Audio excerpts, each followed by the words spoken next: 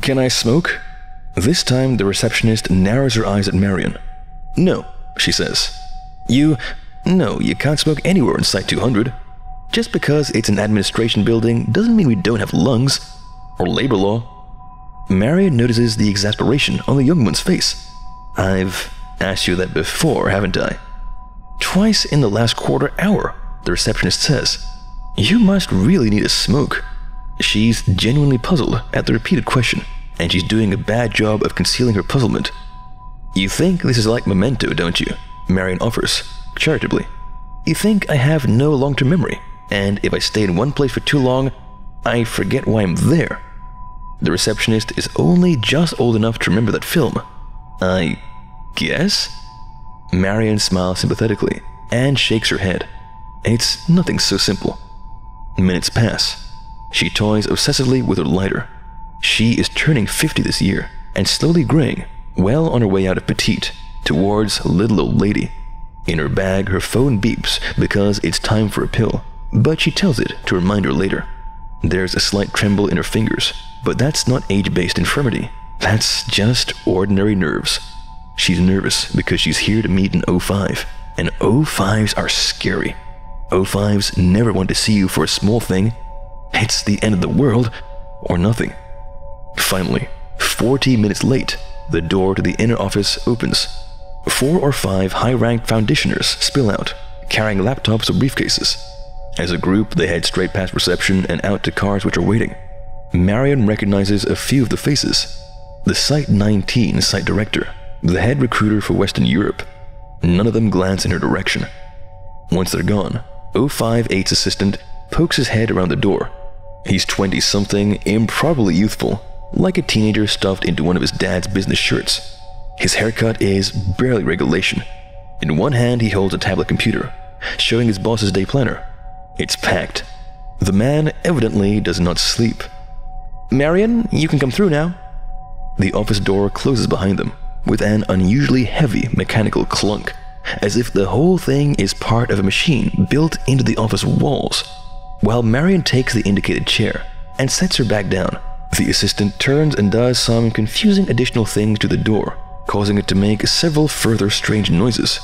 O5s have non trivial privacy and security requirements. The office is spacious, but somehow contrives to be dark, despite two big corners of window and broad daylight outside. The walls are all bookshelves and dark wood paneling. Perfectly stylish, but a style from the 90s a little worn, and not yet old enough to be fashionable again. As for the fellow behind the desk, well, an O5 never looks like you imagine. Marion takes a deep breath. So, what's the topic? All I got was the meeting invitation, no agenda or subject. I mean, an O5 says jump, you jump, but. Looking to her right, she notices that the assistant, without saying anything or making any undue noise, has set his tablet down on the table, produced a gun, and aimed it at her head. Marion stops talking. She sits still in a chair for a little while, absorbing the change of pace, letting her heart rate rise to a hummingbird's, and then start to flatten again. Okay, she hazards. She licks her lips and grips the armrests, otherwise staying perfectly still, waiting for another prompt. The assistant's face is totally neutral now, like this is just how meetings go. Maybe it is, for people up here. Who are you? 058 asks her. Marion blinks. What? Oh god. Let me rephrase, 058 says. Marion Wheeler, 49, with loving husband and two boys in tow. Likes camping, hiking, and ornithology. Boring mother with perfect, airtight background and financials, as far back as we can examine. And you've got full foundation credentials, which we've never issued including access to a list of installations and rooms which some of these locations don't exist or were torn down decades ago. At least one hasn't been built yet, yet you've got the front door key to it. That's before we get to your SCP access control lists, which I can only term as egregious. So, you're a spy, and your objectives are misaligned with ours, and Clay wanted to cut G3 loose on you but I was able to bring him around. I talked him into a face to face. I thought there was a slim chance that if we got you locked in a bomb proof room and asked politely, you'd have the good sense to spare yourself the rest. Marion has long since stopped listening. You dullard, she says, now she can finally speak. I'm your chief of anti-memetics. We don't have an anti-memetics division, Clay says. Yes, you do. We do. 058 says. We have a memetics division, a telecontainment division, fire services, Ops A, Ops B, personnel, D personnel, and two dozen others. We don't have an anti-memetics division. Do we have an irony division? Marion asks. She hesitates hopefully. No? Alright, well, try this. What do you think the anti-memetics division would show up in the listing? This is just a cover story, Clay says to 058, not taking his eyes off Marion. It's a good one, but she's had it worked out in advance. Clay, lose the piece, says the O5. Grudgingly, Clay does so. Marion relaxes fractionally. There are SCPs with dangerous memetic properties, she says. There are contagious concepts which require containment, just like any physical threat. They get inside your head and ride your mind to reach other minds. Right? Right, 058 says. He could name a score of SCPs fitting this description without even thinking. There are SCPs with anti-memetic properties, Marion goes on. There are ideas which cannot be spread. There are entities and phenomena which harvest and consume information, particularly information about themselves. You take a Polaroid photo of one, it'll never develop. You write a description down with a pen and paper and hand it to someone. But what you've written turns out to be hieroglyphs, and nobody can understand them, not even you. You look directly at one and it won't even be invisible, but you'll still perceive nothing there. Dreams you can't hold on to, and secrets you can never share, and lies and living conspiracies. It's a conceptual subculture of ideas consuming other ideas, and sometimes segments of reality, sometimes people, which makes them a threat. That's all there is to it, really. Anti memes are dangerous, and we don't understand them. Therefore, they are part of the problem. Hence my division. We can do the sideways thinking that's needed to combat something which can literally eat your combat training. 058 stares back at her for a long moment. Clay fidgets, disliking and distrusting the story, but the O5 seems more open to the concept. Name one, he says. Name an anti-memetic SCP. SCP-055, Marion says promptly. There is no SCP-055, Clay retorts. Again, yes there is, Marion says. There isn't, Clay asserts. SCP numbers aren't assigned sequentially, there are gaps. That number hasn't been assigned. It's not superstition, we have enough to be concerned about without arbitrary neurological mysticism. We have SCP 666 and SCP 13, but there's no SCP 1, and there's no SCP 55. Clay, 058 says, You should look at this. He turned his monitor so Clay can see the file that he has just retrieved. Clay bends over and reads it from top to bottom. Stunned, he scrolls back and reads it all a second time. But the file's dated from 2008, 058 says. It's got all the right flags and signatures. It's keyed and coded. It's real. You've seen this before? Clay asks him. Never in my life, 058 says. As far as I can remember, anyway. On the other hand, if the content is accurate, both of us have probably seen it dozens of times. Clay glares at Marion. This isn't possible. Marion nearly spits. For Christ's sake, Clay, how long have you been working here? But if this SCP is this powerful, he begins. Yes? Who wrote the file? The O5 finishes. And for that matter, how was the interview conducted? And who is Bartholomew Hughes? And most importantly, how do you, Mrs. Wheeler, retain any knowledge of this? Bart Hughes wrote the file. He's dead, Marion says.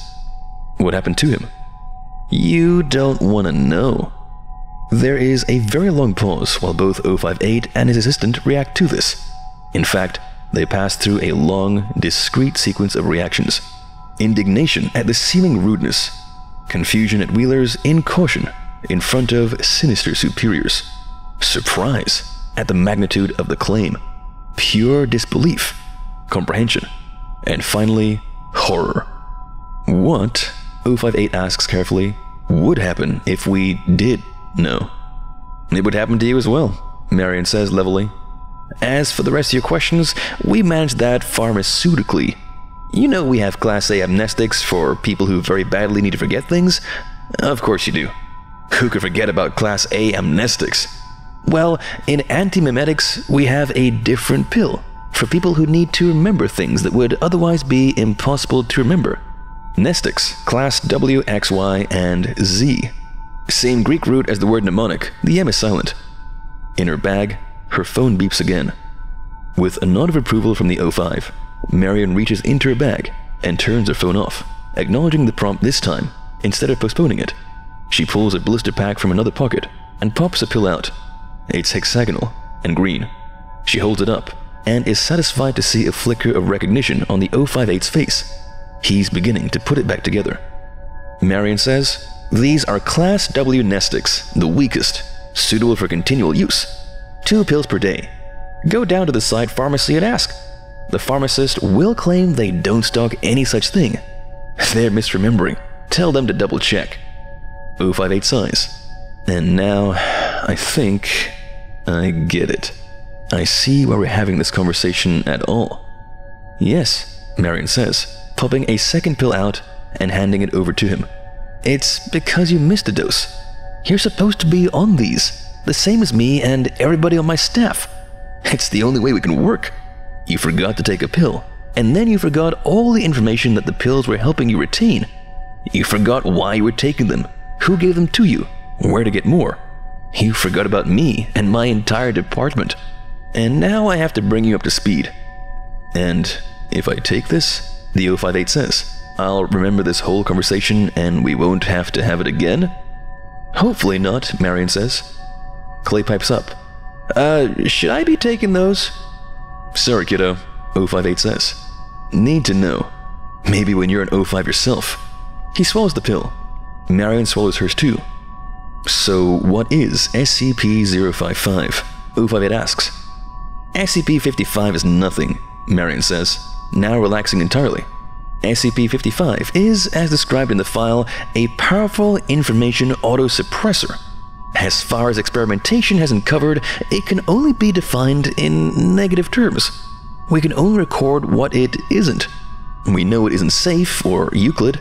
We know it isn't round or square or green or silver. We know it isn't stupid. And we know it isn't alone. But what we do know is that it's weak. It's weak because it's the only anti-memetic agent in our possession which has a physical entry in the files. We have paper records of the thing. We have containment procedures. It's not safe, which means it's dangerous, but it's contained. 058 blinks. You have procedures? Where? Marion points at her head. Then how many other anti-memes are there? How much more dangerous do they get? Ten that I know of, Marion says. Statistically, probably at least five more that I don't know of. This does not count the anti-memetic entities freely roaming the halls, not under containment. There are at least two in this room with us right now. Don't look. I said don't look. It's pointless. 058 does an impressive job of controlling himself, keeping his attention focused on Marion. Clay doesn't fare so well and quickly sweeps the whole room, even checking behind his back, making an ass of himself essentially. He finds nothing. He looks baffled. There is an invisible monster which follows me around and likes to eat my memories, Marion explains patiently. SCP 4987. Don't look it up, it's not there. I've learned to manage with it. It's like a demanding pet. I produce tasty memories on purpose, so it doesn't need something important like my passwords, or how to make coffee. And what's the other one? Clay asks. With another nod from 058, Marion goes to her bag again. This time, she pulls out a gun and shoots Clay twice in the heart. More aghast than in pain, Clay collapses sharply against the bookcase behind him. Pulling his head around to face Marion, he manages, How did you. Mm, Marion stands, aims more carefully, and shoots him a third time, this time in the head. 058, again does an impressive job of not reacting. That's Clay's gun. He deadpans. You stole it from him. It's tricky to steal a firearm this heavy from someone without them noticing, Marion explains, unloading it and carefully setting it down. But stealing a firearm and then stealing their memory of the theft is a little easier. Like I said, a pet. Some pets are dumb enough that they can be trained. Yes, 058 says evenly. That much I'd guessed. But why? Because you were supposed to be taking Class W Mnestics, Marion says. You can't skip a dose of Class W Mnestic. I've tried. You can postpone a dose, but you can't forget unless someone actively prevents you from taking it. There's only one person who could get close enough to you to do that, and that's your assistant. And remember when I asked him how long he'd been working here? He didn't answer. 058 says, I thought you were being rhetorical. He doesn't work here, Marion says. He's an anti meme. Since when do you have an assistant? You don't have an assistant, Brent. Oh, look at this office. It's got one desk. You've got a receptionist outside. She's the one who screens your calls and schedules your meetings. Where does Clay even sit? Where does he fit? Don't blame yourself. You're human. And these things are redaction incarnate. You need to think like a space alien to get around them. 058 asks a question which, in any other workplace, would be absurd. Is he dead? Maybe, Marion says. I can put his corpse in our research queue and we'll see what we can see when we open him up. There's a duality here, though.